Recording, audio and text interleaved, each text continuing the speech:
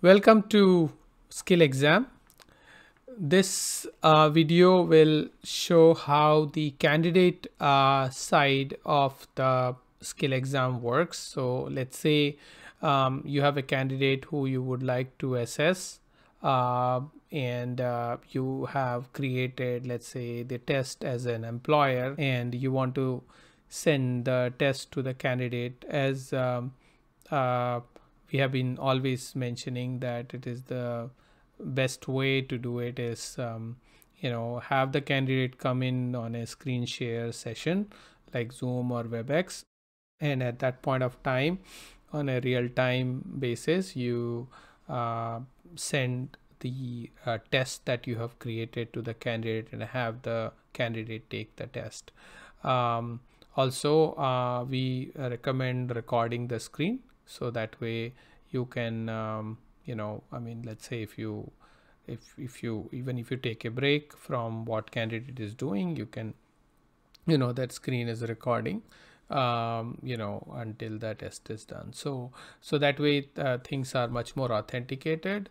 Uh, however we have put all the features where copy paste is disabled and all those things but screen share recording uh, with the skill exam is the most uh, uh, foolproof method to accurately assess the candidate uh, um, you know the candidate's ability. So let's quickly take a look uh, the you know i'm gonna log in as a um, as as a as as one of the employer account and i um, you know i have already created the test and i showed earlier in the you know uh, the other demo how to create the test. So i'm not going to go and create another test this time but i will look at one of the tests that is already active.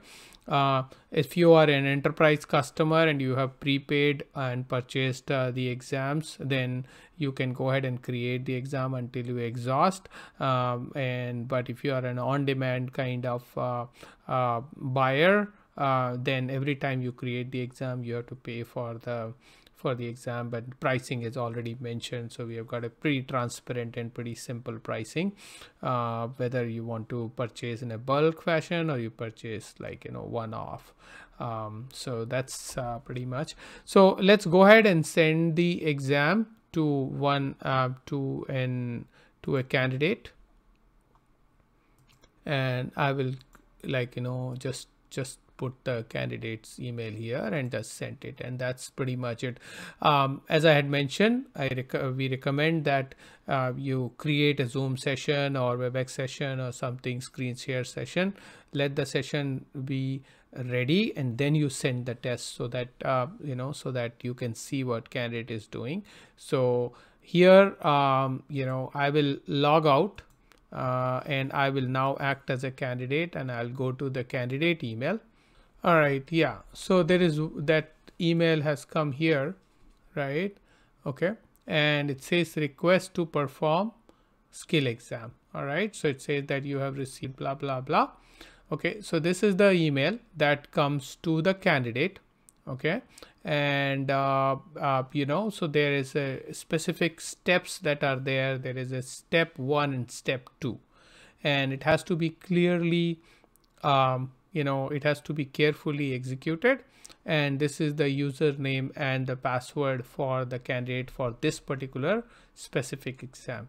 So it says please follow the below instructions carefully. Step one click to prepare your browser environment for skill exam. So you click that.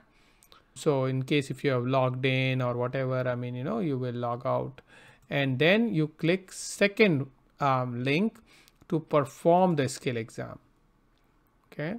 So that's the second link. And then we are going to use um, this username and the password. And click on authentication. Okay.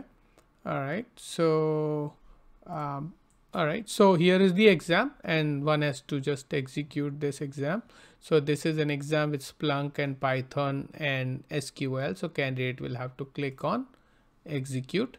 And these are the different uh, questions. So the first question is what is the difference between blah blah blah list and tuple? You know let's say the candidate doesn't answer this. You know the second question is why can't lambda forms in python contain statement um, you know whatever candidate answers? And like you know so so on and so forth. And let's say if you are doing a screen session you can actually tell the candidate to execute let's say question number 13 you know and or selective question or whatever. So what is i negative index? So uh, so so like that you can have an iterative or let the candidate take the test make sure that um, you know screen is shared and so on and so forth. Once everything is done you know all candidate has to do is terminate the exam or otherwise you know it will get terminated automatically. And that's about it. That is all the candidate is actually doing for the uh, for taking the test. And once the test is done um, you know uh, you can you will get of course an email that uh, the test is done. And also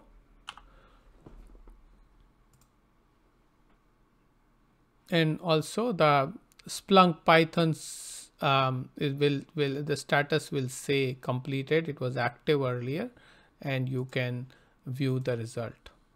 Okay, so here all the our compiled answer will always be there whether candidate has answered it or not. You can always generate a PDF as well.